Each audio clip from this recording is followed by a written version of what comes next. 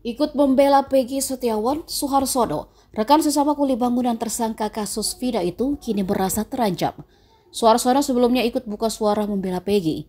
Ia yakin Peggy ada di Bandung pada hari kejadian Vina dan Eki dibunuh di Cirebon dan sedang bekerja bangunan rumah milik Agus di Rancamanyar.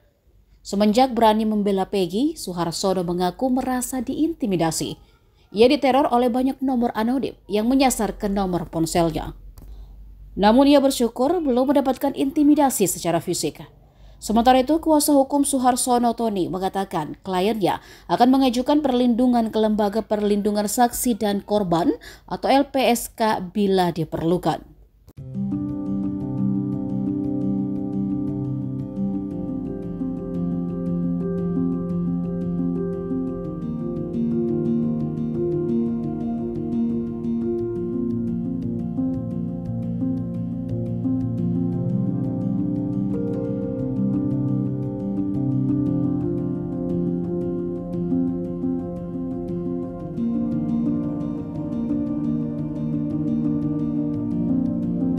Download Tribun X sekarang, menghadirkan lokal menjadi Indonesia.